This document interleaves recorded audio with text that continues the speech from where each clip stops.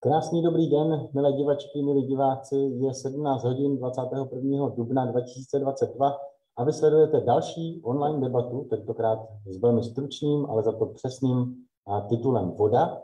Organizátoři dnešní debaty jsou Europe Direct Hradec Králové, knihovna města Hradce Králové, Europe Direct Kroměříž, knihovna Kroměřížská a v neposlední řadě také Univerzita Hradec Králové. Mé jméno je Matyáš Strnat a to téma dnešní debaty je tedy voda. Je naší součástí, trochu ji vnímáme jako takovou samozřejmost, ale otázkou zůstává, jestli s ní umíme správně zacházet a jestli si ji dostatečně vážíme. Na nejen tyhle otázky, ale třeba i vaše otázky spojené s tímto tématem bude odpovídat dnes pan docent Tomáš Dostal, vedoucí katedry hydromeliorací a krajinného inženýrství Fakulty stavební Českého vysokého učení technického v Praze. Pane docente, dobrý den. Dobrý den, děkuji za pozvání. Než, nemáte vůbec za co. Než položím první otázku, což je moje privilegium jakožto moderátora, tak ještě upozorním diváky na to a divačky, že i vy se můžete zapojit do debaty, a to prostřednictvím komentářů na Facebooku eh, u toho streamu, který právě sledujete. Takže neostýchejte se, když budeme s panem docentem vědět odpověď na vaši otázku, tak se určitě pokusíme o to, o to, jí, eh, o to jí vám poskytnout. Takže, pane docente, já jsem vás úplně nepředstavoval do nějakého extra detailu, ale přece si myslím, že, že by bylo záhodno divákům a divačkám říci něco krátce o vás. Nicméně ale vaše zaměstnání, to znamená tu primární činnost, že jste vedoucí katedry hydromeliorací a krajinného inženýrství, tak už jsem řekl, Nicméně já jsem se při přípravě na dnešní debatu dozvěděl o vás, že jste zapojení v celé řadě výzkumných projektů, a že máte celou řadu předmětů, které vyučujete tak eh, jsem se chtěl zeptat vlastně, co aktuálně eh, zabírá nejvíc vašeho pracovního vytížení. Jste nejvíce vedoucí, nebo nejvíce vyučující, nebo nejvíce badatel? Co, co, co je pro vás teď ta stěžení role? No, já bych chtěl být eh, samozřejmě nejvíce učitel a badatel, nebo badatel a učitel, ale tak, jak jste do jisté míry, nebo tak, jak jste nadnesl, tak do jisté míry je to tak, že jsem vedoucí katedry a eh, vedu řadu výzkumných projektů, takže stále více a víc toho času padá na nějaký, řekněme, management. Eh, nicméně stále se snažím věnovat studentům, vedu doktorandy, vedu diplomanty a učím předměty týkající se, řekněme, krajinného inženýrství. Mm-hmm. A možná, abychom divákům zase přiblížili trochu to, čím se odborně zabýváte, protože vy se věnujete celé řadě tématů, témat, kromě tedy kvality vody, erozním rizikům, a retenci a tak dále.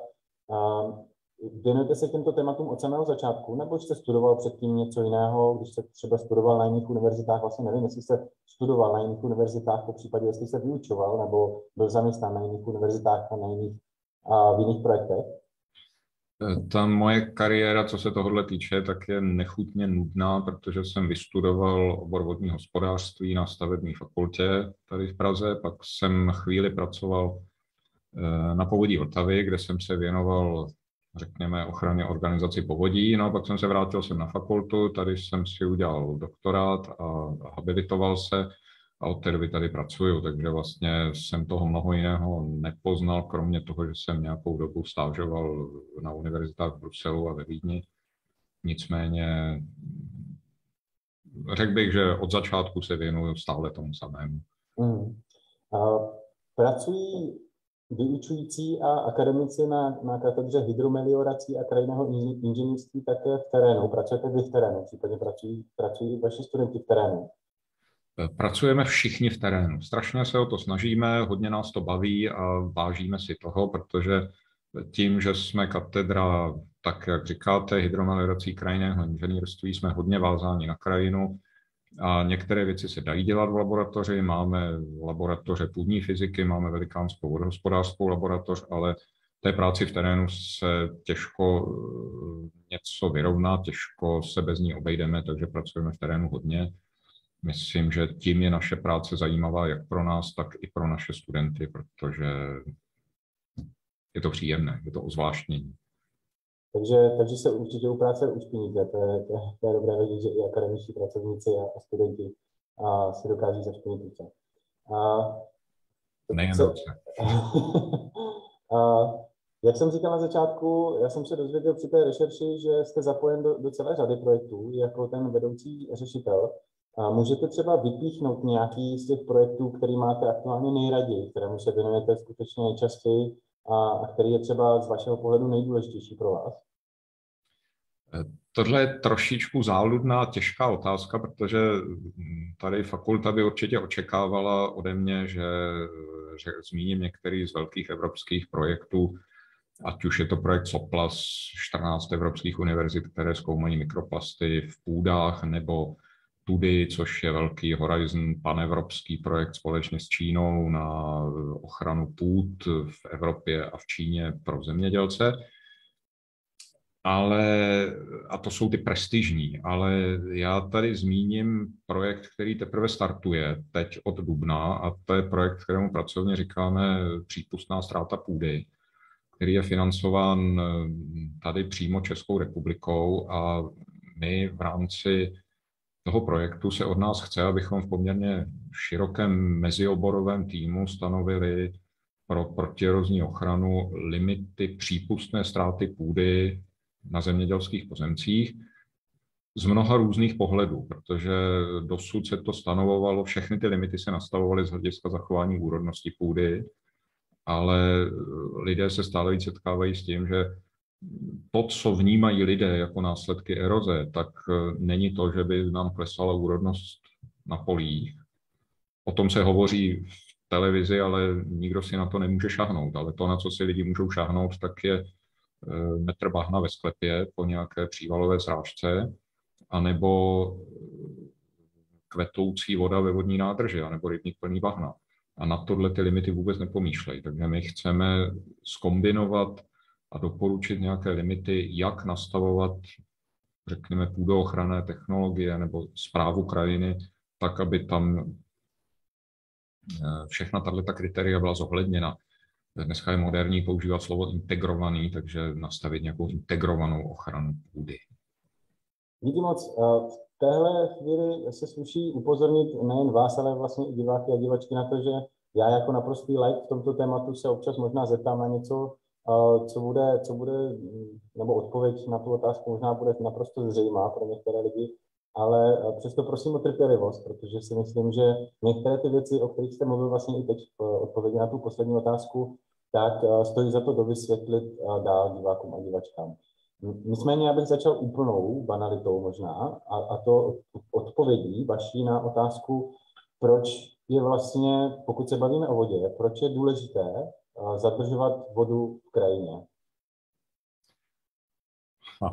To je, ano, vy řeknete, že je to banální otázka, ale je jen málo složitějších otázek, protože eh, pokud to vezmu na banální, jako, pokud to pochopím nebo uchopím jako otázku banální, tak vám na ní banálně odpovím, chceme ji tam zadržovat proto, aby tam byla.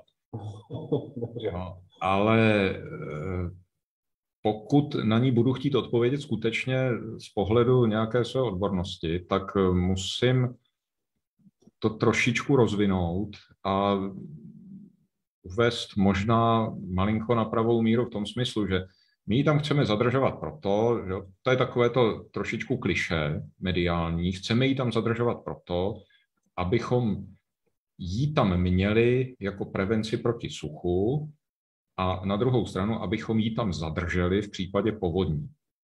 To znamená, abychom neměli sucho a neměli povodně.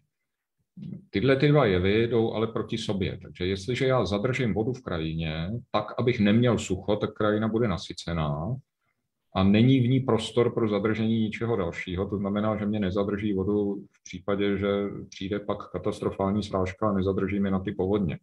A jestliže ta krajina bude prázdná a zadržíme povodeň, tak zase je suchá. Takže tohle je věc, která je nesmírně složitá a i u toho zadržování. Já bych řekl, že v dnešní době je hrozně populární prostě věci absolutizovat. To znamená, eh, zadržuju správně, nezadržuju špatně. Eh, takové ty jako černobílé pohledy. Já bych eh, hrozně rád řekl, že svět není černý nebo bílý, svět je barevný a jestliže čehokoliv je moc, tak je to špatně. Jo, takový ten klasický případ je, že když vám nedám týden žádnou vodu, tak zemřete. a když do vás naliju 10 litrů vody za hodinu, tak taky zemřete. Takže eh, pokud zadržíme veškerou vodu v krajině, tak eh, dojedeme na tom, že budeme mít úplně suché vodní toky. Jestliže nezadržím žádnou vodu v krajině, budu mít vodní toky rozkolísané a krajina bude vyprahlá. Vy se tomuhle tématu věnujete, ona já zase navážu další otázkou, ale vlastně ji chci uvést trošku. Vy se tomuhle tématu věnujete v rámci České republiky, nebo třeba i v rámci nějakého obecnějšího vodního komplexu, dejme tomu Evropy, nebo ještě většího? Eh, tak jak jste se mě ptal na začátku v tom úvodu na ty projekty, tak hm, máme několik velkých projektů, které proběhly na povodí Dunaje celého, nebo teď běží jeden panevropský společně s Čínou právě na zadržení a dostupnost vody pro udržitelné zemědělství v krajině. Takže primárně naše projekty jsou orientovány na Česko, ale máme tam i velký mezinárodní přesah, eh, řekl bych regionální spolupráce, Rakousko, eh, Německo, Bavorsko, nebo jeho část Bavorsko, ale pak i celoevropská spolupráce a téměř jo, i, s, i s tou Čínou, no, což to, to už je pak třetina světa. Hmm. Já jsem se ptal proto, já se chci, stejně se chci vyhnout nějakým normativním otázkám, abych po vás chtěl, abyste hodnotili nějaký stav, ale přesto bych se zeptal vlastně na ten stav, jestli v České republice, potažmo v Evropě, je ten, ten stav vody v krajině aktuálně dobrý nebo špatný, nebo a, jestli by se to dalo nějakým způsobem a, kvantifikovat. Kvantifikuje se to strašně těžko, protože záleží na tom, eh, co chceme přesně kvantifikovat. Eh, ten stav je takový, jaký je a já bych řekl, ten stav odpovídá intenzitě využití krajiny. Jestliže krajinu budeme potřebovat využívat tak intenzivně, jak ji využíváme, to znamená velmi intenzivní zemědělství, protože celá Evropa, minimálně ta střední, je krajinou zemědělskou, intenzivně zemědělskou. A intenzivní zemědělská krajina je krajina, která je odlesněná. Česká republika má nějakých 33% zalesněnosti, což je na evropské poměry velmi dobré. Na druhou stranu historicky, pokud by se česká krajina měla vrátit do původního stavu, tak by česká krajina vypadala tak, že asi 96% by bylo zarostlé lesem, převážně smíšeným. Jestli, a ten les má nějaké vlastnosti, nějaké, jo, zadržuje vodu, ale na druhou stranu on ji spoustu odčerpá a odpaří. Takže paradoxně, když máte les a ten les vykácíte, tak se vám může stát, že ten pozemek se zamokří, protože podmínky jsou nastavené tak, že spoustu vody eh, lesy dokážou odčerpat a odpařit je to i jeden ze způsobů, jak eh, zamezit nadměrnému zamokření, že se tam vysází dřeviny, které to zamokření snesou a mají vysokou transpiraci. A pak záleží na tom, jak moc intenzivní to zemědělství je. Čím je zemědělství intenzivnější, tím ty dopady na krajinu a na vodní režim krajiny jsou větší. Čím je, řekl bych, diverzifikovanější, menší, méně intenzivní, tedy extenzivnější, tím ty dopady jsou menší, ale jsou. Hmm. Vy jste zmínil les. E, jakými vlastně, nebo jaké jsou způsoby přírody, kterými reguluje vodu e, sama, sama jakoby v sobě? A, a jaké jsou potažmo, nebo ve srovnání s tím způsoby, které třeba může využívat člověk pro, pro regulaci vody v půdě? Tady je zapotřebí si uvědomit, vlastně tady trošičku jako zabrousím do svých klasických přednášek, ale eh, tady je důležité si uvědomit ty základní fyzikální mechanismy, protože jako velmi často třeba eh, lidé za velmi často jevy v přírodě jsou prezentovány zkratkovitě jako něco zázračného, neočekávaného, katastrofického, překvapivého. Ale ono jako tam toho moc, nebo spousta těch věcí jsou velmi jednoduché, dají se předpovídat, dají se velmi jednoduše kvantifikovat. Jednoduše, ne jako samozřejmě ty procesy jsou velmi složité pokud půjdeme do detailu, ale v těch základních principech, to znamená, jak s tou vodou pracuje sama příroda, jestliže zaprší, tak ta příroda použije tři základní procesy na zadržení té vody. A tyhle ty procesy každý z nás velmi dobře zná. Když začne pršet, tak se jdeme všichni schovat pod strom. Protože první kapky, začátek toho deště se zachytí na listech toho stromu. Tomuhle procesu se odborně říká intercepce. Jestliže tam mám hustý les, tak v tom dešti zůstanu suchý třeba 20 minut. Jestliže tam nemám žádný strom, no tak promoknu hned. Když prší dostatečně dlouho, tak to odkapává z těch stromů na zem a ta voda se mi začne vsakovat do půdy. A tomuhle procesu se říká infiltrace. A ta infiltrace záleží na tom, jak ta půda vypadá. Jestliže ta půda bude uh, utužená na bude to kukuřičné pole utužené vegetací se špatnou půdou s nedostatkem organických látek, která bude krustovaná ještě navíc, tak mi eh, ta infiltrace bude velmi pomalá nebo i žádná, nebo když to bude parkoviště u supermarketu, tak nezainfiltruje nic. Jo? A pak dochází k takzvané povrchové retenci, jako poslední proces v řadě, a to je zadržení vody v nějakých depresích. Česky bych řekl, dělají se louže. A eh, když ty louže už jsou plné a žádná voda už se nedokáže vsakovat a celá vegetace je mokrá, no tak mi začne vznikat povrchový odtok. A tím končí vlastně kapacita zadržení. A tahle ta kapacita pro daný typ krajiny můžeme říct, že je konstanta. Ta krajina prostě víc nedokáže zadržet.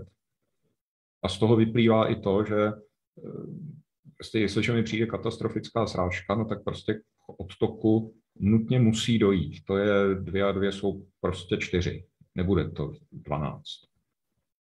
Mhm. No, a záleží na tom, jak já budu podporovat a v jakém poměru a v jaké velikosti budu mít tyhle ty tři procesy, anebo jestli Prostě když vezmu les s hezkou půdou a hrbolatým povrchem přirozeným, tak zadrží víc než parkoviště u supermarketu. Mm. Vy říkáte, že ten objem vody, který krajina je schopná vsáknout nebo s ní nějakým způsobem pracovat, je konstanta. Je to, je to skutečně tak? Může, může se tahle konstanta například v důsledku vlivu člověka měnit? To znamená, ptám se vlastně ve zkratce, může člověk, který tomuhle procesu a těmhle schopnostem přírody si regulovat vlastní, vlastní způsob uh, příjmu vody a nebo práce s vodou, může to člověk nějakým způsobem ovlivnit k dobrému nebo špatnému? Eh, samozřejmě. Já když jsem řekl konstanta, tak eh, možná jsme si nerozuměli úplně. Já tím nemyslím, že každá krajina, že je to konstanta všude, že každá krajina má stejně, ale chci tím říct, že pro danou, daný typ krajiny to číslo je konečné.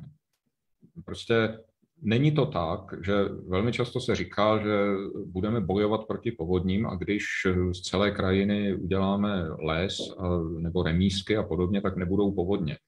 A já jsem chtěl říct to, že, eh, že krajina silně urbanizovaná s velkými spevněnými plochami, to znamená spousta silnic, velká parkoviště, velké plochy, ploché střechy, komerční centra a podobně, mi dokáže zachytit, eh, teď plácnu 2-3 mm srážky.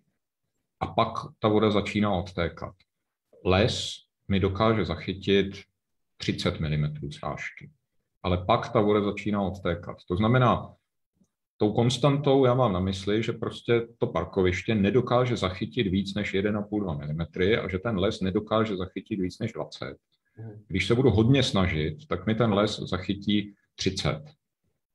Ale jestliže mně přijde srážka taková, jaká nastala eh, třeba v roce 2002, kdy těch milimetrů spadlo 500, a nebo tak, jak v Jízerských horách v posledních deseti letech se stalo asi šestkrát, že jich tam spadlo 150, 200, 250, tak prostě ta voda odteče, odteče jí hodně.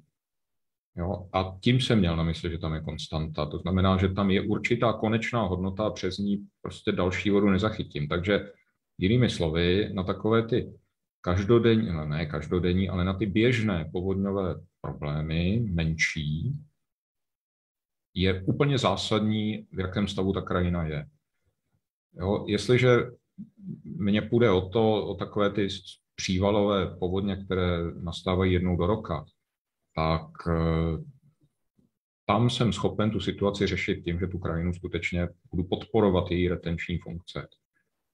Ale musím se připravit na to, že pokud mi spadne 200 mm za dva dny, tak ta povodeň zkrátka bude. A není to pak žádná věc, nad kterou by zůstával rozum stát, prostě hodně zapršelo.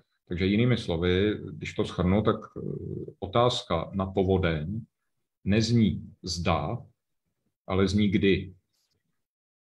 Hmm. Je povodeň jediný problém, který vzniká v důsledku nedostatečné retence půdy? Tak samozřejmě povodeň je jedna věc a druhá věc je sucho.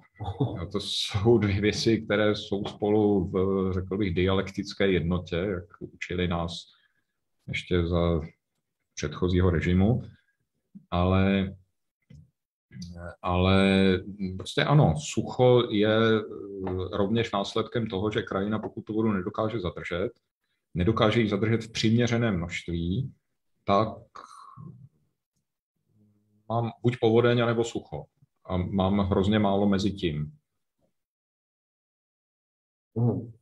A jak se, jak se tomu dá teda předcházet, eh, kromě toho, že eh, nebudeme stavět tolik parkovišť a, a obchodních domů s rovnými střechami?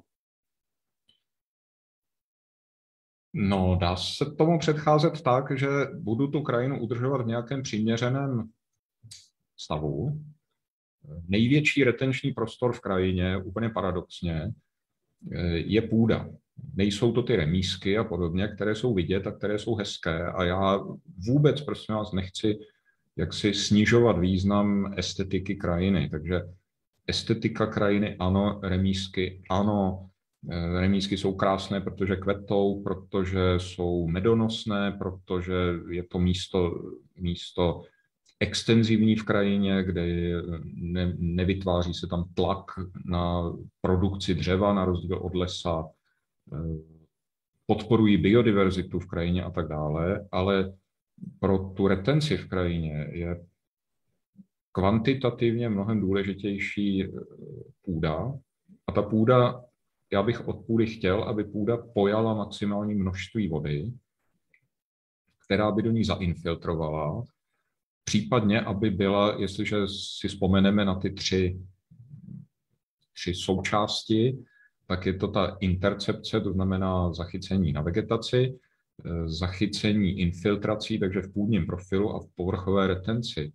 Takže já bych akcentoval tu infiltraci a povrchovou retenci, protože ta intercepce skončí tím, že se to zachytí na listech a pak se to odpaří. Kdežto ta infiltrace mě částečně umožní růst rostlin a částečně mi pak sítí vodní toky nějakým pomalým podpovrchovým odtokem a ta povrchová retence se postupně do infiltrace přemění. Takže akcentovat tyhle ty dva hlavní jevy a věnovat se vlastně půdám z hlediska toho, aby ty půdy dokázaly vodu pojmout a udržet ji. Může mm, krajina, která je připravená o svoji retenci, dejme tomu víceméně ve městech, kde je ta zastavba intenzivní, tak může tahle krajina přispívat ke zhoršení kvality vody v, v, v řekách a v dalších tocích? Uh,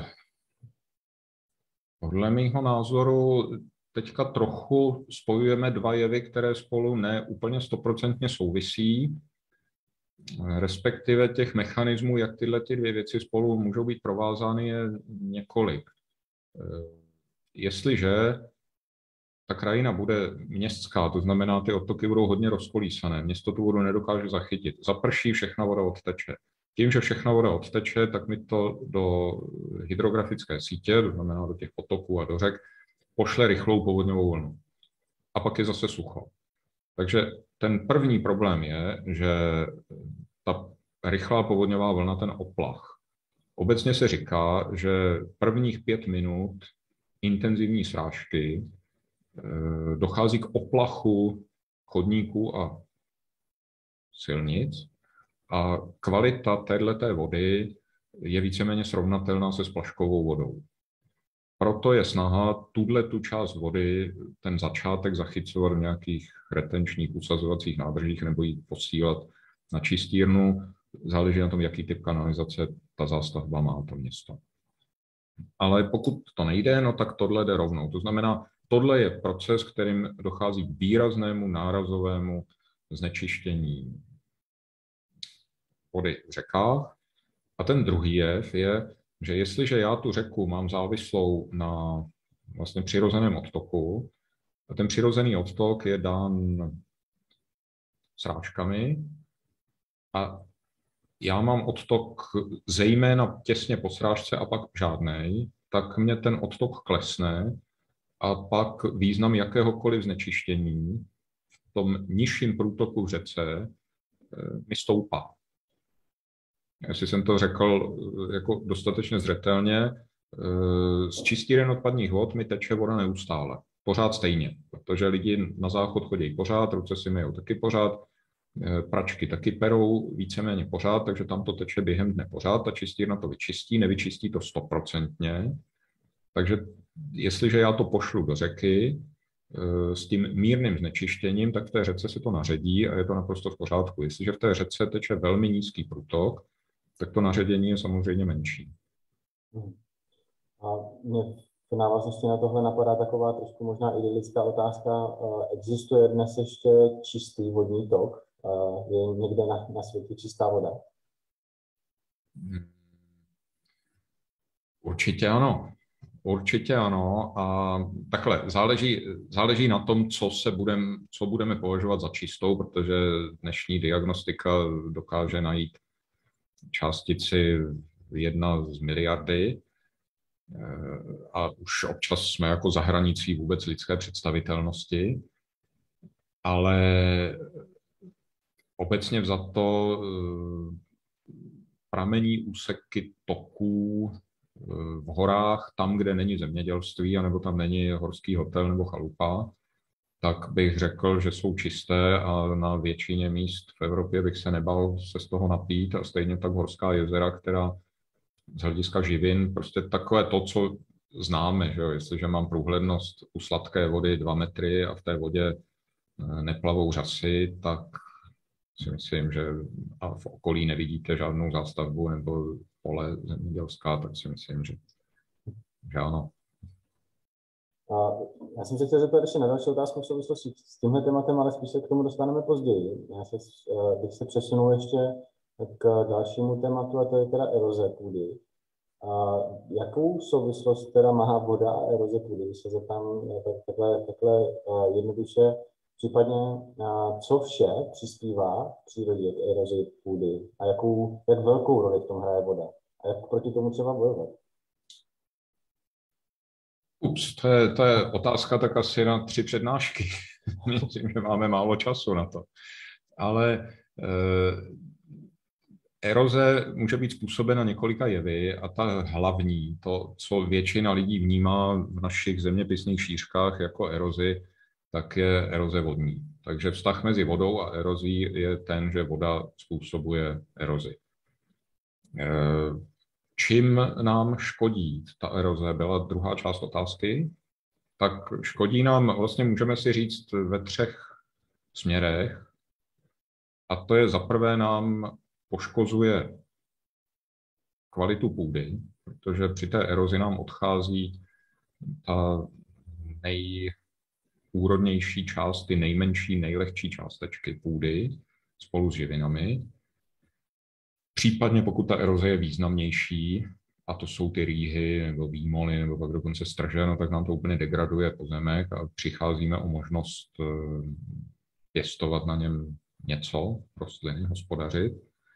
Eh, ta druhá část, eh, to je, řekněme, škody na infrastruktuře, to znamená, to jsou ty zanesené příkopy u silnice, zanesené hm, vesnice, poškozené zahrádky.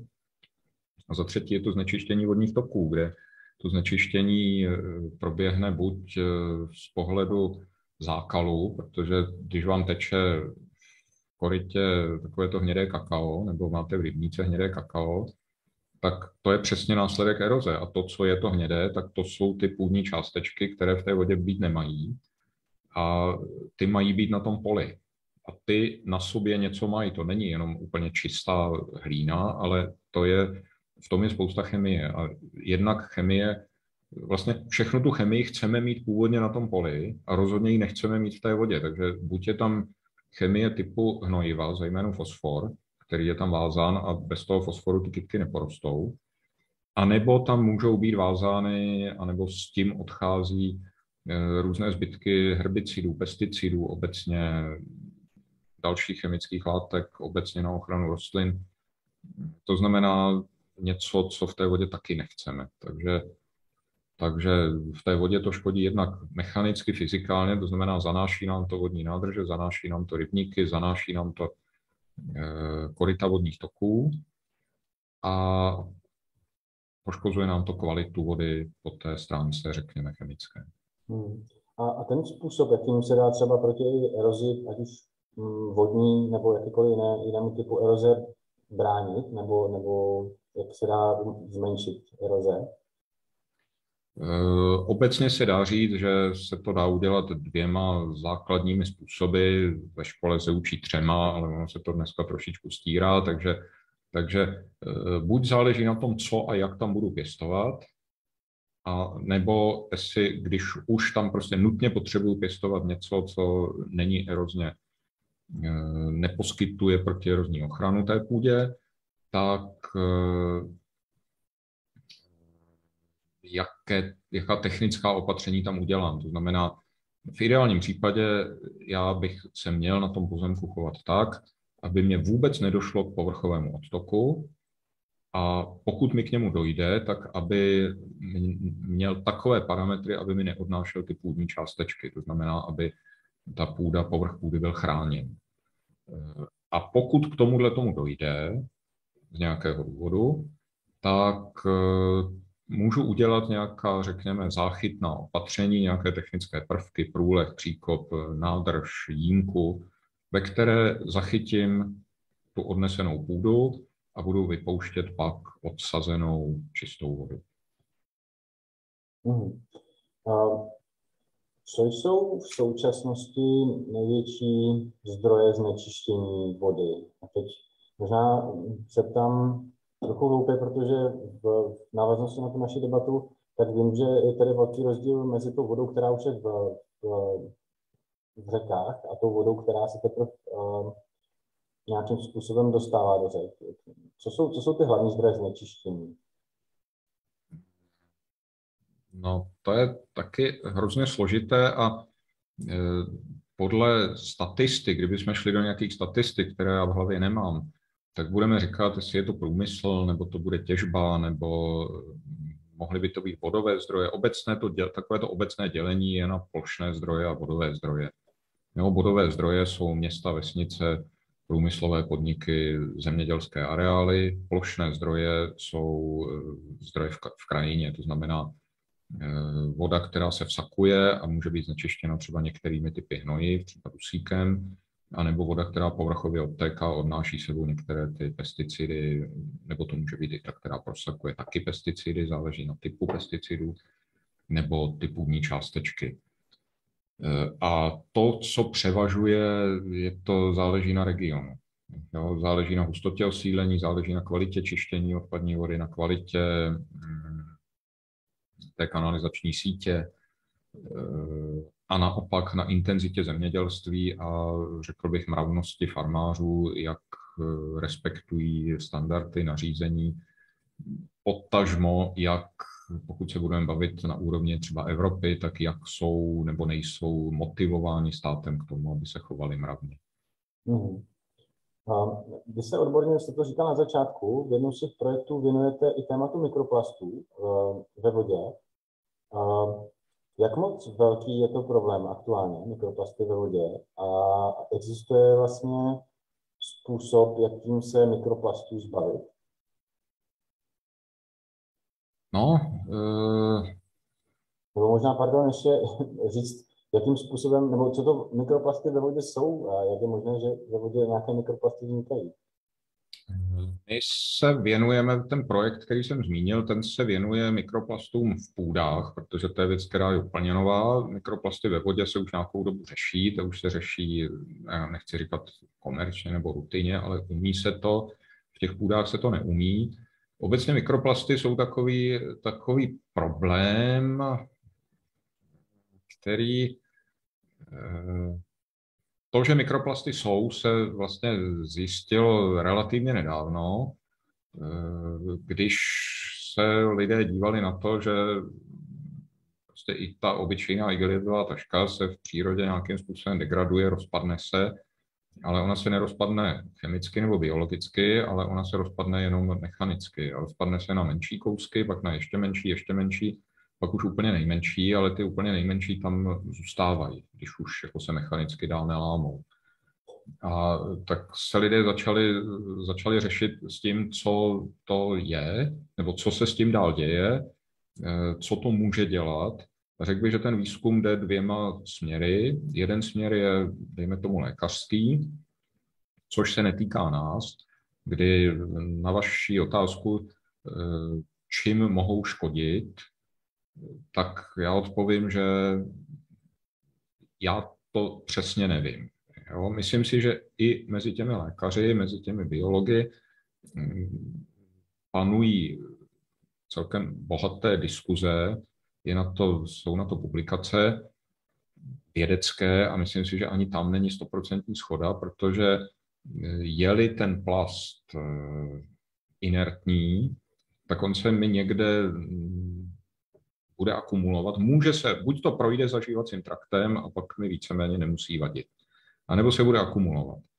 A pak je otázka, co po té akumulaci bude dělat a zdali je dostatečně rezistentní na to, aby se mi nezačala rozkládat a aby se z něj nezačaly v tom prostředí těla, které je strašně agresivní.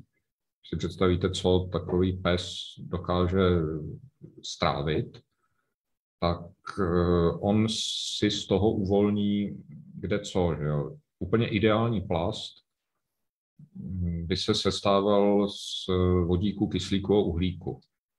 A já, když bych ho rozložil, tak eh, z něj vznikne oxid uhličitý a voda. Takže ideál.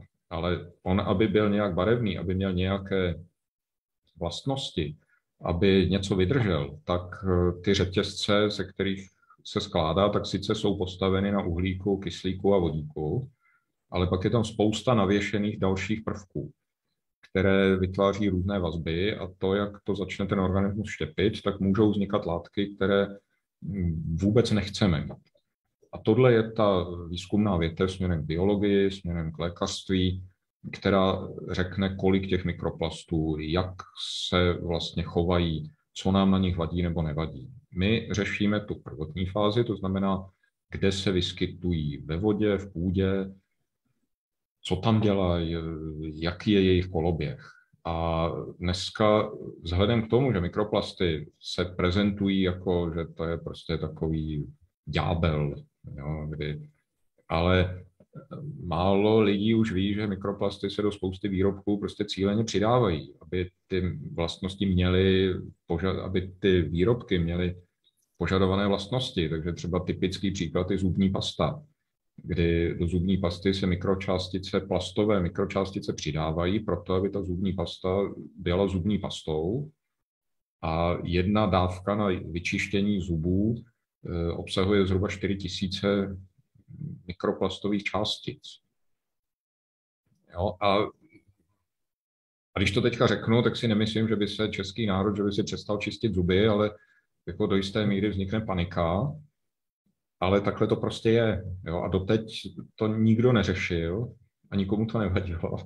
A myslím si, že to zase dlouho nikomu vadit nebude, až to lidi zapomenou, tuhle tu informaci, že to je taková spíš jako senzace. Takže my jsme tím obklopeni, z vody se to dá dostat tím, že se to dá filtrovat. ale zatím, pokud se nemýlím, tak se to moc nedělá, protože nestačí to přefiltrovat přes běžné filtry, muselo by se to filtrovat přes něco trošku lepšího, bylo by to strašně drahé a zatím není jednoznačně prokázáno, jak moc to vadí, takže pokud se nemýlím, tak z vody se mikroplastové částice ještě neodstraňují. Technicky bychom to uměli. Z půdy je odstraňovat neumíme. A je to možná trošku větší problém tím, že oni se tam akumulují. V té půdě se stoprocentně akumulují, pokud nejsou biologicky rozložitelné ty plasty, tak těch mikroplastů tam přibývá, přibývá, bude jich tam přibývat. A otázka je, jak se budou dál chovat. Což záleží na tom, z čeho jsou, protože plast, jako člověk vnímá plast, no tak plast. Že? Na střední škole jsem se učil, že plasty se dělí na termoplasty, termosety, podle toho, jestli když je strčím do ohně, tak jestli stvrdnou anebo se roztečou. Ale těch plastů je několik desítek tisíc a je něco úplně jiného, jestli je to PVC, nebo jestli je to polyetylen, pokud je to polyetylen, tak jestli je vysoko nebo nízkohustotný, eh, nebo jestli je to nějaký polyacetát, nebo prostě spousta dalších. Hmm. Uh, vy jste to částečně už nakousl, teď nevím, do jaké míry o tom vlastně můžete mluvit, když je to docela, docela nový výzkum, a teda ty plasty v půdě. A Jakým způsobem se teda mohou plasty v půdě chovat, kromě toho, že se tam teda s, eh, nějakým způsobem eh, schromažďují? A, a co, to, co to pro tu půdu znamená? Přispívá to třeba k té, k té zmíněné erozi? Eh, já bych řekl, že v současné době to pro půdu neznamená nic a že ten výzkum je jakoby příjemný v tom, že výzkum začal dřív, než vznikl reálný problém. To znamená, že my, ale je to důležité v tom, že pokud ten problém v půdě vznikne, tak bude nevratný. Protože mikroplastové částice z půdy prostě nebudeme schopni dostat. Jo? A jestliže zjistíme, že pro půdu jsou skutečně kontaminující a že jsou nějak zásadně špatné, tak eh, si neumím představit, co bychom s tím dělali. Proto teďka běží ten výzkum, kdy se ví, že ty půdy jsou kontaminované. Jsou kontaminované zatím ještě relativně málo, to znamená, že nám to moc neovlivňuje téměř vůbec, protože ty, ty kontaminace jsou skutečně v promilích. Že nám to ještě moc ne, ne, neovlivňuje funkce té půdy. A Vlastně to, co se sleduje, tak je, jestli ty půdní části, jestli ty eh, plastové částice, jak reagují v půdě, jestli se chovají pak už jako půdní částice po nějaké době, jestli ta příroda si je dokáže vzít za své, to znamená, eh, dokáže je uplácat do těch půdních agregátů. Mm, jestli se pak zapojí a budou fungovat skutečně inertně, tak to je ta nejlepší varianta, protože jako vlastně by nám to nevadilo.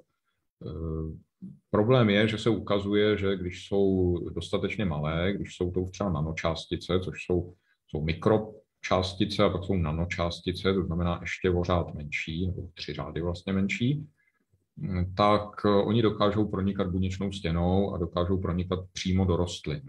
A tím pádem touhle cestou se celkem velmi efektivně dostávají do potravního řetězce a dostanou se do nás. Tady pak teda běží ten eh, lékařský výzkum, jestli ty částice, které se touhle cestou, protože hlínu asi nikdo z nás nejí, pijeme vodu, takže to jsou ty, ty částice, které se do nás dostanou z vody, to jo.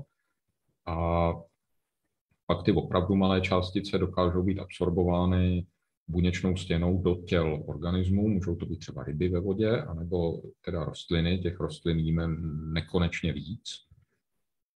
Eh, a pak se to dostává do nás.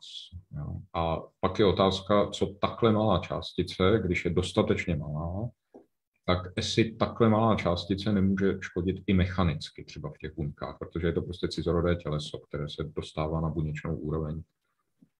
Takže tímhle způsobem, jako na vaší původní otázku, jasná odpověď, čím nám v této chvíli negativně ovlivňují půdy, řeknu v této chvíli téměř ničím.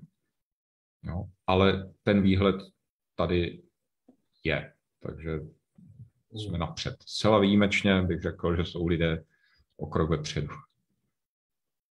Vy jste na začátku zmiňoval, kdybychom chtěli naši, naši krajinu dovést do toho původního stavu, že by tady bylo nějakých 96% lesů, což eh, já si to představuju tak, že to je vlastně pro krajinu žádoucí, protože takhle vypadala předtím, než jsme se do ní pustili my.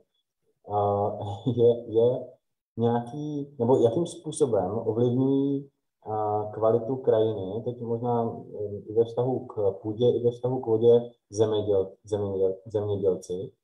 A jestli jejich, nebo jakým, jakými způsoby vlastně oni můžou ovlivnit to, jak, jak se chová půda nebo jak se chová voda v půdě?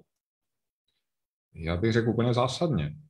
Jo, a na ten váš úvodní, jak si ten, to, to, to úvodní část vaší otázky, tak ano, pro tu krajinu by to bylo nejlepší, ale v tom případě bychom museli jaksi připustit, že pro tu krajinu by bylo úplně nejlepší, abychom tu my nebyli protože ono to nejde dohromady. Jo? Mít 96% zalesněného území, tak jako to se sem prostě nevejdeme. Jo? A nemusíme mluvit o 7,5 miliardách lidí, můžeme mluvit o, o čemkoliv víc, než eh, to, co bylo lidstvo někdy před nějakými pěti tisíci lety, kdy se v Evropě začalo odlesňovat a to bylo na země kouli, pokud se nemýlím, něco kolem milionu lidí na celé země kouli. No, takže, takže pokud chceme tady zůstat, a je jedno v jakém počtu, tak prostě ta krajina bude muset být zemědělská. A jako tvrdit, že ne, je pokrytectví, protože prostě pak teda pojďme někam jinam, než tady na zem. A to, do jaké míry ti zemědělci mohou ovlivnit. Ano, my jsme si řekli, že ta půda, jestliže se máme bavit o tom, tak kvalita půdy z hlediska zadržování vody, tak je dána víceméně tím, do jaké míry, jak jsem už říkal, ty tři procesy. První jsou kitky, tak ty teďka neřešíme. Nebo budeme je řešit taky. Takže jestliže první fáze je intercepce, to znamená zachycení na povrchu, tak já bych chtěl, aby vlastně nebyla holá pole.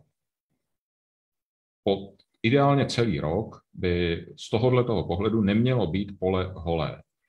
V tom našem středoevropském kontextu a představě lidí, jak má vypadat pole, že pole je zorané, nebo pak zase té pole je hnědý Manchester, tak jako na sjezdovce je bílý Manchester, tak na poli je to hnědý Manchester.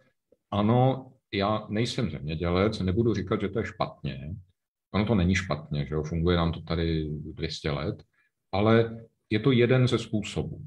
A může se hospodařit takzvanými půdoochrannými metodami, to znamená, že já se můžu snažit, abych měl na tom poli celou dobu nějaký vegetační kryt. Takže sklidím, během sklizně tam jednak ponechám straniště a jednak tam nechám část té slámy na poli, rozřežuji, nechám ji tam jako kryt povrchu a jednak do toho rovnou zaseju nějakou třeba meziplodinu, která mi tam na podzim vyroste, v zimě tam je, to pole vypadá jako, že je to takový nepořádek, protože dá se tam vysejt taková směska, která zase do půdy vrací, vrací dusík, živiny, hluboce koření, takže je to směs všelijakých plodin. Rozhodně to není hezký, vypadá to fakt, jako člověk si řekne, co to tam ten sedlák safra dělá, to je ale nepořádník.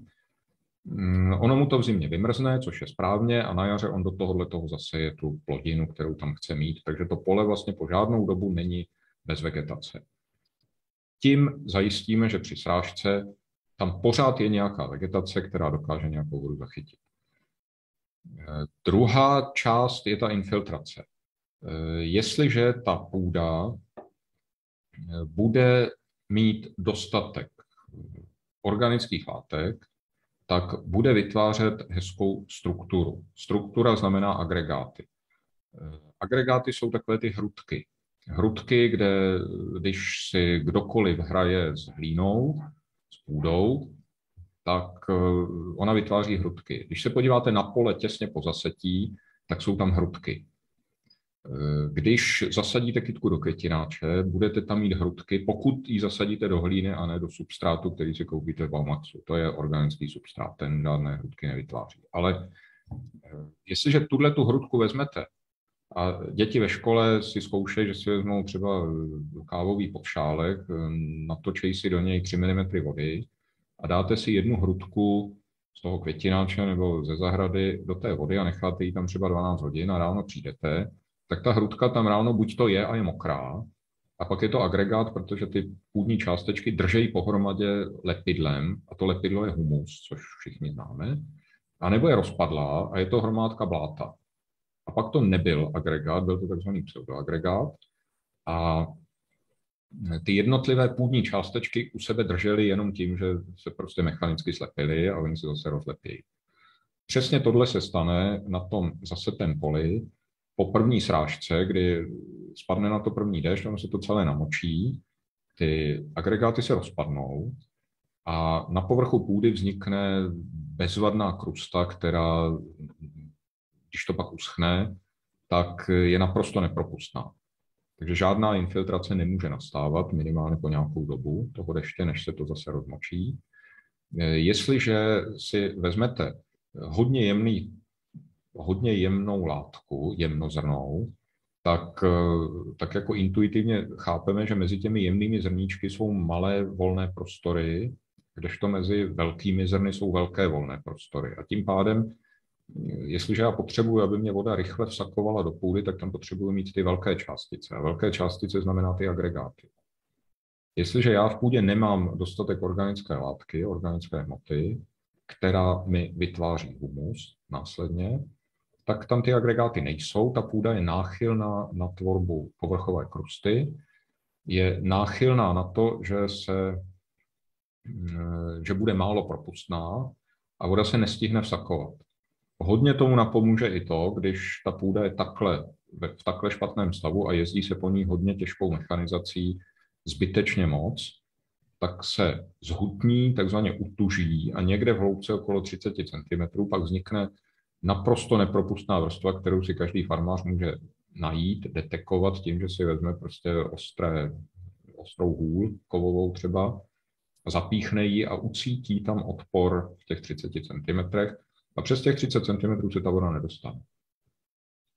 Jo, no a takže to je ten vliv, vlastně tam je naprosto zásadní nehutnit tu půdu a udržovat dostatek organiky. To znamená vracet do půdy nejen hnojiva minerální, ale vracet tam organické látky. A to poslední je ta drsnost, to znamená nenechávat ta pole v tom stavu, pokud možno toho Manchesteru, nebo některé plodiny, některé, někteří zemědělci dosud používají technologii po zasetí, že se uválí jo, a vytvoří úplně hladký povrch, kde když zaprší, tak ta voda odtéká. Jo, odtéká velmi snadno a ten odtok znamená, za prvé to znamená e, vznik povodně, za druhé to znamená ztrátu vody z krajiny a za třetí to znamená tu erozi. Takže to, co nechci. Hmm.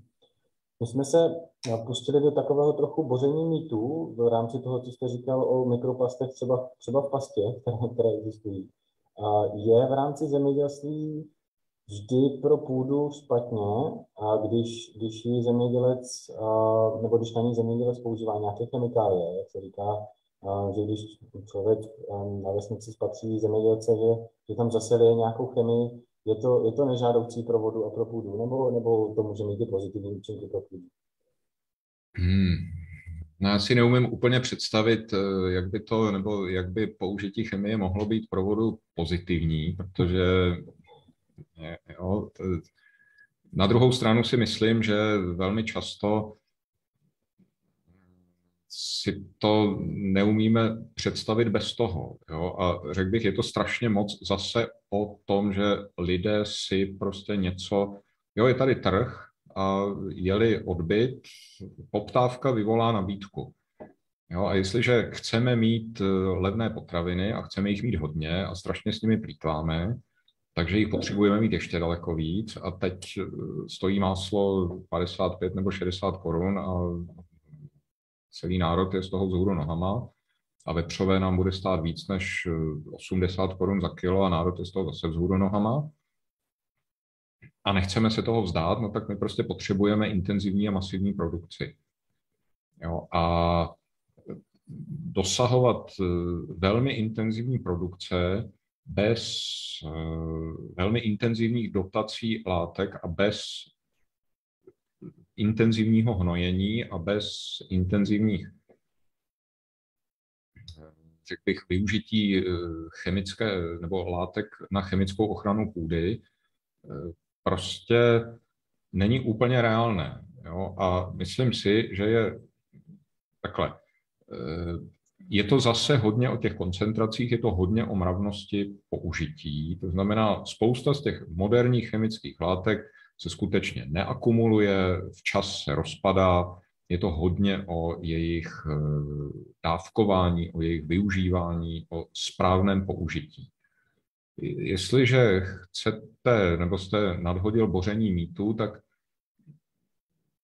taková věc, která, za kterou teda budu kamenován, nepochybně, jo, protože, jak jsem řekl, já nejsem zemědělec, ale snažím se o nějaké třeba malohospodaření a moje osobní zkušenost je, že jestliže já bych potřeboval použít takhle, buď jestliže já osobně třeba jsem schopný si vypěstovat nějakou tutunu jablek, tak buď se smířím s tím, že ta produkce jablek, že na tom nejsem ekonomicky závislý a nevadí mi, že každý třetí rok budu mít 50 kg jablek z celého sadu a že i když jich budu mít tu tunu, tak eh, ta jabka budou každý jinak velký, budou poděbaný, budou strupatý a tak dále. Jestliže se s tímhle smířím, tak to můžu dělat tak, že já tam tu chemii nestříkám. Jestliže ji tam budu chtít stříkat, protože bych chtěl ta jabka mít každý rok, a jsem malopěstitel a ten svůj sad já budu eh, obhospodařovat eh, zahradním postřikovačem, tak já, když si koupím zahrádkářství tu chemickou látku na ochranu, nějaký pesticid, herbicid, insekticid, něco, tak tam je dávkování, které je naprosto přesné. A já teda pracuji na univerzitě, takže teoreticky jsem schopen to dávkování dodržet. Ale pokud bych na té univerzitě nepracoval a neměl bych přístup ke komplikovaným, složitým digitálním váhám a tak dále, a měl bych to dělat doma v kuchyni, no tak prostě si logicky řeknu, ale tak já tam ten pitlik vysypu celý. On pitlik je na 4 litry, ale já tam potřebuji 10, nebo tak když mám 10 litrů vody, tak tam mám ty pitliky radši 3. A stejně tak pak nastříkat to do té koruny, tak tam jako půl stromu nebude postříkáno vůbec s tím ručním postřikovačem a na druhém toho bude pětinásobek. Jo, z tohohle pohledu třeba, jestliže se použije vysokotlaká technologie s pojezdem, s navigací pomocí GPS na traktoru, s konstantní rychlostí a s konstantním tlakem, tak eh, oni jsou schopni dosáhnout jako daleko lepších výsledků a myslím si, že Eh, zase, já nechci tímhle tím rozhodně říkat, že jsem za chemizací eh, zemědělství, za používáním chemie v krajině. Naopak chci nabádat k principům předběžné opatrnosti, to znamená, dřív než něco začneme masivně používat, tak to skutečně důkladně otestovat, držet to v tom procesu testování déle, sledovat potenciální akumulace, potenciální nějaké následné efekty, ale myslím si, že prostě pokud chceme žít na úrovni, kde žijeme dneska, což bych chtěl nazvat blahobytem, protože my jsme, my si žijeme v blahobytu, tak si myslím, že se bez toho neobejdeme. A nebo pokud se bez toho chceme obejít, tak snižme naše nároky na standard. Hmm. A já bych se zase přesunul k trochu jinému tématu, byť to s tím souvisí, a to je rybníkářství, protože eh, to je zase možná svůj generis eh, téma eh, ve vztahu k vodě. Jak, jakým způsobem rybníkářství přispívá, nebo, nebo je dobře rybníkářství pro vodu a pro půdu, nebo, nebo to má nějaké jiné efekty, které nejsou úplně žádoucí? No, já bych řekl, že rybníkářství je skvělé, protože rybníkářství diverzifikuje krajinu. Cokoliv diverzifikuje krajinu, tak já za sebe řeknu, že mně se to líbí, je to hezké podle mého názoru. Mít otevřenou vodní plochu v krajině bych já řekl, že je bezvadné, skvělé. Poskytuje to, jak jsem říkal, diverzifikuje to, jak tu krajinu, diverzifikuje i to opticky, eh, umožňuje, vytváří to spoustu nových biotopů v krajině, to znamená umožňuje to tam zvýšení biodiverzity, žijou tam různá zvěřátka, některá krásná, některá ohyzná pro většinu lidí, ale tohle všechno je příroda a myslím si, že to je hrozně důležité. Takže rybníky, ano, hurá v krajině. Eh, na druhou stranu, jak jsem říkal, nic není černé nebo bílé. Jestliže ten rybník bude obděláván vysoce intenzivně, bude to překrmováno, bude to, bude to přetíženo rybí obsádkou, eh, ta voda bude silně zatížena živinami, případně to bude nějak ošetřováno, No tak je otázka, do jaké míry, že jestliže budou břehy vysíkány, nebude tam žádné litorální pásmo, nebude tam žádné rákosové pásmo, protože třeba pro ty rybáře, pro to hospodářské využití ten rákos eh, není dobrý. Jo, no tak pak samozřejmě ty, ty efekty, ty pozitivní efekty klesají, snižují se a mohou, řekněme, být až i negativní. Vztah k půdě bych řekl, že té půdě ten rybník je celkem jedno, jestli tam je nebo není. Takové trošku nešťastné, nešťastná interakce je, že v rybníce se usazuje erozní sediment z té půdy. A to je špatně, zejména pro majitele toho rybníka, že jo, protože on chce mít v rybníce vodu a ryby a místo toho tam má pláto. Ale tak, otázka je, Tady zase zkusme si zbourat nějaký mýtus v tom smyslu, že třeba jak eh, velmi rybník působí eh, proti povodní, tak eh, řeknu, že minimálně, protože cílem rybníka, pokud se to bude jmenovat rybník, tedy rybochovná vodní nádrž, vodní nádrž, term, terminologicky správně je to malá vodní nádrž. A jestliže ta malá vodní nádrž bude postavena za účelem rybochovu, tedy intenzivního rybochovu, tak je to rybník. A jestliže já tam chci chovat ryby, tak tam chci mít co nejvíc vody. Protože čím víc vody, tím víc ryb. A jestliže tam budu mít hodně vody, tak se tam nevejde žádná voda navíc při povodní. Takže jestliže říkáme, že ten rybník, že budeme mít hodně rybníků a tím pádem budeme mít vysokou retenční kapacitu krajiny, tak ten rybník při průchodu povodně působí, pokud je úplně plný, tak působí vlastně jenom naprosto minimálně působí takzvanou mírně transformačně, to znamená, že on mi tu povodňovou vlnu mírně sploští, ale pokud to není velikánský rybník, tak ji sploští minimálně, pokud je skutečně plný. A nebo teda musíme motivovat majitele, aby tam nechávali nějaký prostor na zachycení povodně. A pak je z hlediska možná eh, působení, působení z hlediska, řekněme, nějaké eliminace změny klimatu a podobně, což nám může, může přispět, tak já bych řekl, že tam spíš než eliminace změny klimatu, tak eh, to působí na změnu toho mikroklimatu, to znamená, že ono to ochlazuje tu krajinu. Že když je vedro, tak jdeme k vodě. Jednak protože se tam budeme koupat, ale jednak protože u té vody je chladněji. Jenom chladněji, protože ta voda se odpařuje a to je nějaký fyzikální proces, kdy prostě část toho tepla se spotřebovává na výpar. Takže jednak je tam vyšší vlhkost, což je příjemné, lépe se nám tam dýchá, a jednak je tam chladněji. Takže on ten rybník ovlivní své okolí tím, že teda je tam příjemněji Eh, ale že by jako rybník jako takový nějak dramaticky ovlivnil eh, celou změnu klimatu, že stavme hodně rybníků a bojujeme proti změně klimatu, to si úplně nemyslím. Hmm. A když jsme u tohohle tématu, tak eh, jaké vlivy má, má globální oteplování na, na vodu a na půdu? Promítá se to nějakým způsobem? No, zcela určitě. A já bych řekl, že globální oteplování je o vodě, protože globální oteplování v našich podmínkách, takhle, já bych tomu globálnímu oteplování, já bych to spíš v našich podmínkách nazval změnou klimatu než globálním oteplováním. Já si myslím, že to globální oteplování je v některých regionech ale je to podmnožina změny klimatu. Změna klimatu eh, říká, že se nám mění zaběhané vzorce klimatu dlouhodobé a někde se to projeví oteplováním, jinde to může mít nějaké jiné dopady.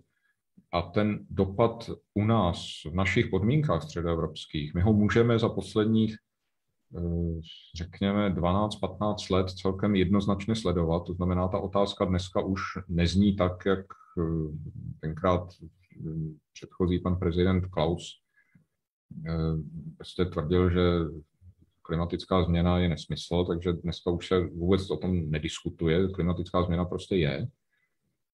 A spíš se diskutuje o tom, jak se projevuje. A to, jak se projevuje, my dneska vlastně vidíme. My to vidíme každý rok. A ve střední Evropě se více-méně hovoří o tom, že tady dojde k tomu, že se zachovají dlouhodobé průměrné hodnoty, třeba teplot, srážek, ale to, co se bude měnit, tak je časové rozložení. A e, průměr, průměrná hodnota je strašně ošidná věc. Jo? Jestliže nám někdo říká, jaký je průměrný plat v České republice nebo průměrný plat v Praze, tak to je strašně zavádějící číslo, které je nebezpečné. Já bych takové číslo vůbec nepouštěl na veřejnost, protože to bourá vztahy. A e, průměrná teplota 0 stupňů vznikne tak, že budete mít týden, nebo v létě budete mít plus 10 a v zimě budete mít minus 10, tak máte průměr nula. Ale stejný průměr nula budete mít, jestliže v létě budete mít plus 50, tak v zimě budete mít minus 50. A to je taky průměr nula. A to je ten, ta extremalita, o které mluvím. Že my vidíme dneska, že my máme v březnu máme Eh, plus 20 a pak máme v dubnu minus 4. Jo, a teď to lítá, v létě máme období, kdy máme plus 40 a pak máme zimu, kdy celou zimu máme plus 7. Rostliny a zvířata nechtějí upadnout do zimního spánku a pak máme najednou tři týdny, kdy je minus 27. A způsobí to obrovské škody. Národohospodářské, na přírodě a tak dále.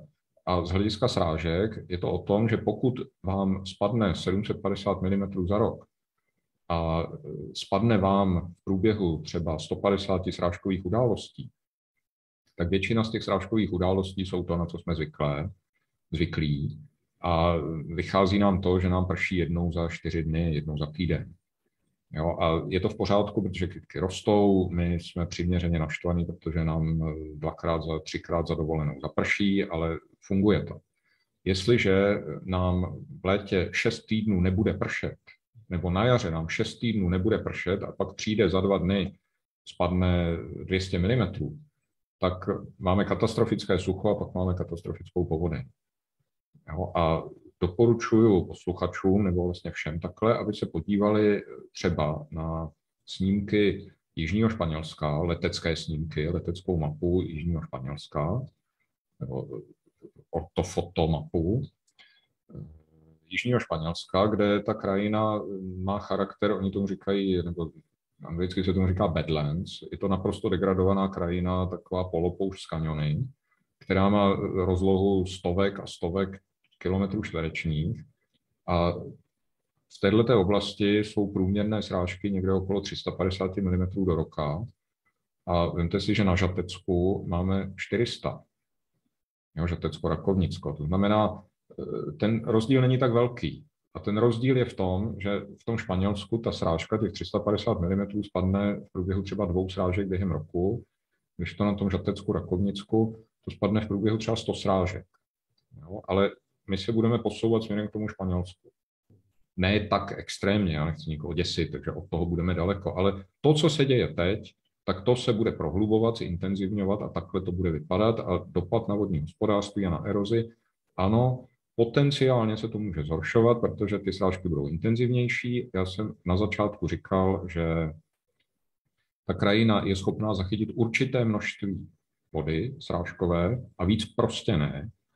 A jestliže mě bude přibývat srážek, kdy spadne hodně vody najednou, tak mě bude přibývat epizod, kdy mě ta voda bude odtékat z té krajiny.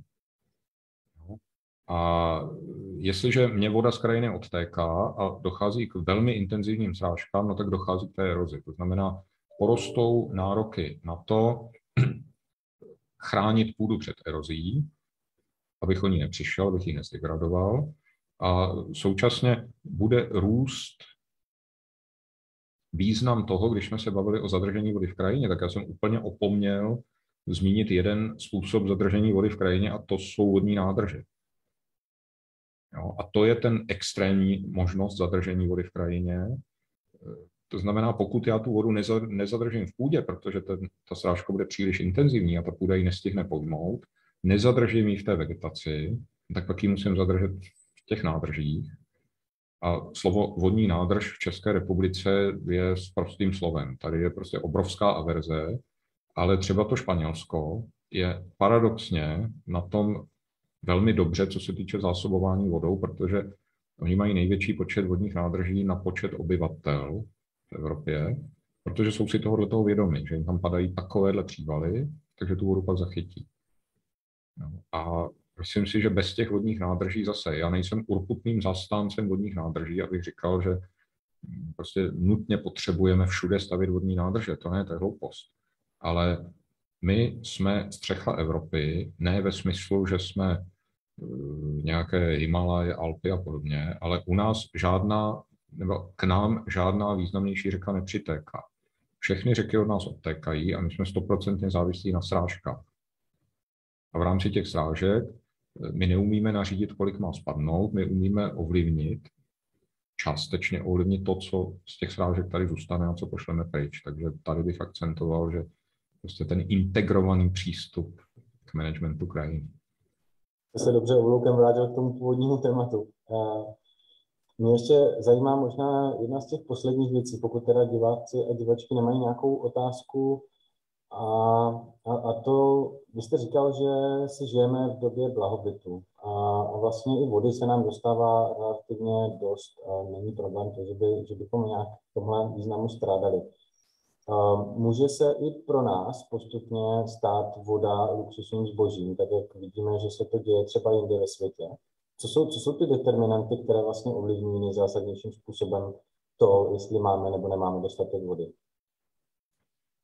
No, to je velmi dobrá otázka a myslím si, že je to otázka, kterou si jako lidé nechtějí klást, nechtějí eh, se s ní vlastně vůbec seznamovat stejně jako, jak, ano, říkali jsme tady, že žijeme v blahobytu a na tohle se prostě dneska existuje už termín vodní blahobyt.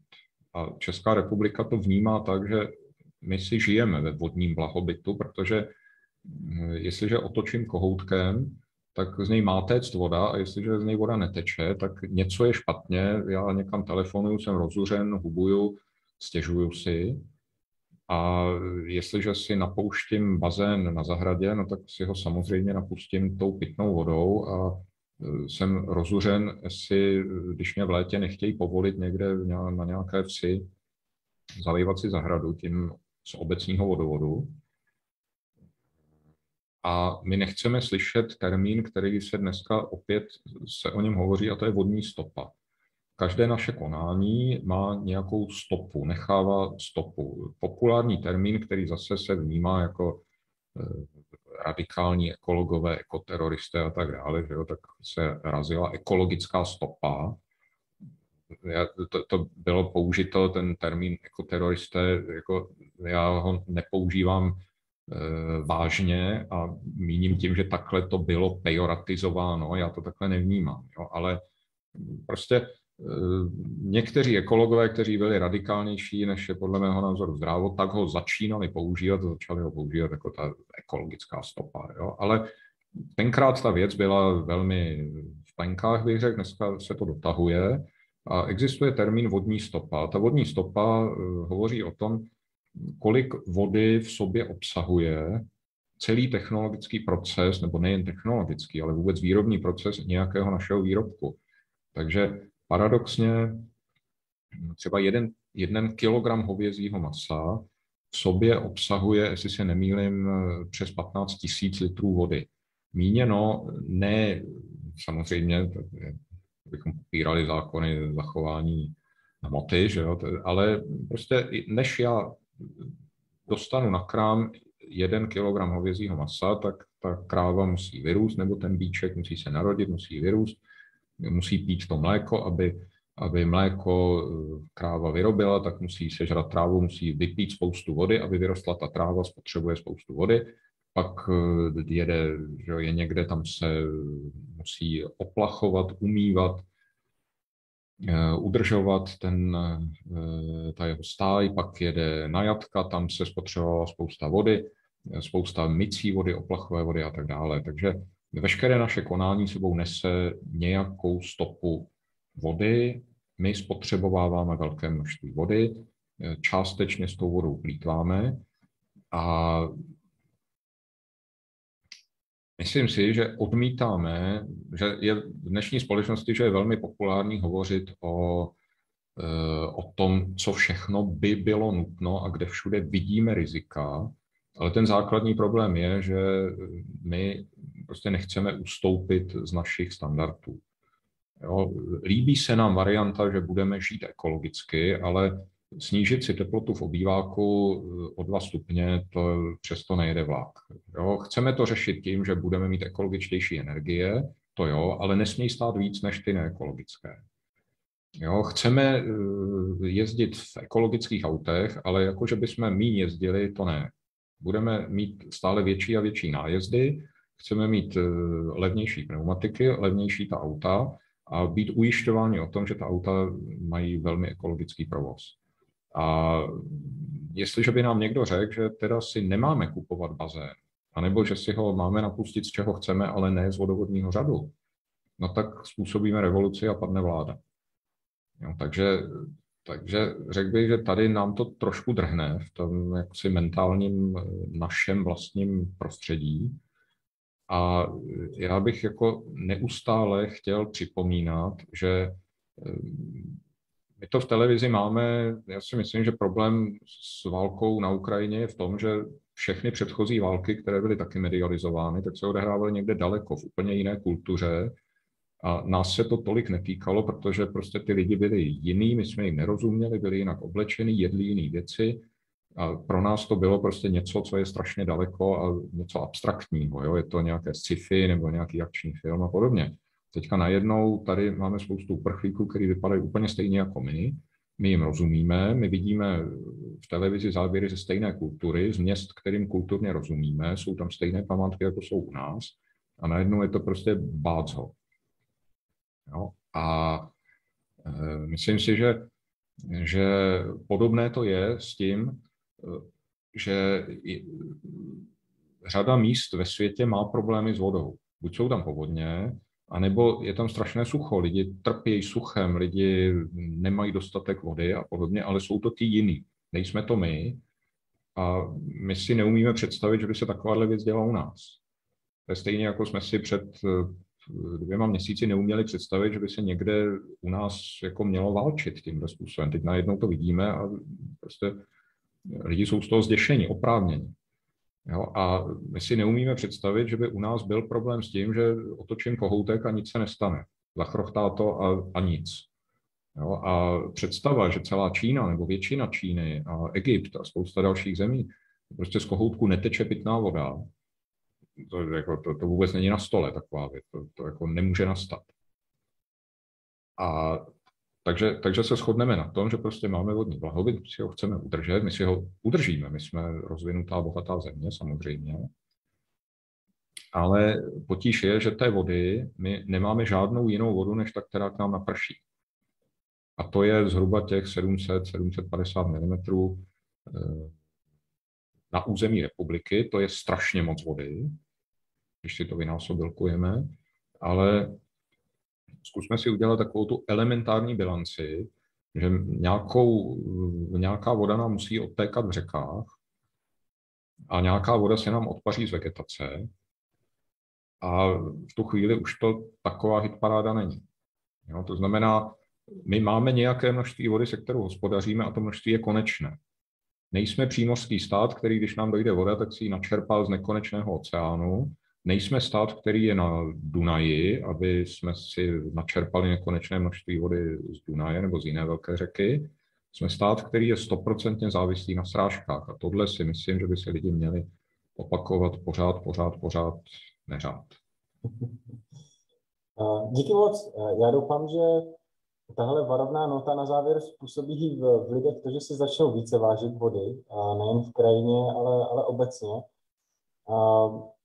Já děkuji primárně panu docentovi Tomáši Dostálovi, vedoucímu katedry hydromelior, hydromeliorací a krajinného inženýrství Fakulty stavební ČVUT v Praze.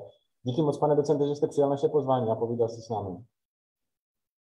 Já děkuji moc ještě jednou za pozvání. Přeji pěkný večer, zdravím posluchače. Já doufám, že jste si to diváci a divačky užili. Sledujte určitě Facebook knihovny nebo knihoven a, a výrob Dialektu. Dále určitě vás tahle, nebo tenhle typ přednášek ještě a, a povídání ještě čeká a nám nezbývá už nic jiného, než se s vámi rozloučit a popřát hezký zbytek večera. Mějte se pěkně. Naschledanou. Naschledanou.